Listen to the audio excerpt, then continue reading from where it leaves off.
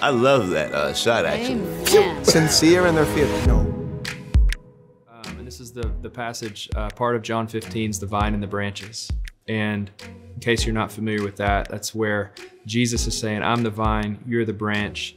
Learn how to abide, or, or some translations say remain in me. And um, it has this clear result that if you do that, you will bear fruit. Um, and then he gives the, the negative side of it, but if you don't, uh, apart from me, you can do nothing. And um, when I'm being real honest, like there's a part of me that's like, wait, Jesus, like you mean nothing? Like there's a there's a part of me that feels like I could do something. Like maybe it's not a lot, but like I've got a little bit. And I think I think Jesus is getting at like the real kingdom fruitfulness. Like this he I think he's talking more about like the stuff that lasts, the stuff that counts.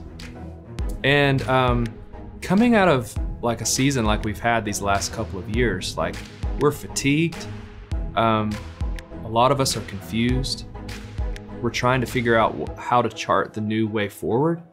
And there's, I see a lot of conversation that's in the area of like strategy, which I, am all for. I think real strat strategically myself. Um, kind of, but kind of the anti-strategy is to learn how to remain and how to abide. And that often is like the upside down way, where we want to go out and be busy and we want to do things. And Jesus is saying, No, I want you to do things, but it just has to be rooted in relationship with me. Like you, this is one of those things you can't get the ordering wrong. So you can't go do your thing and then just ask me to bless it.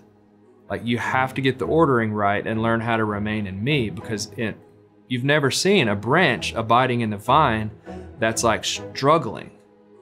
Um, like in fact, branches that are abiding in the vine, they look like their outward appearance is they look healthy.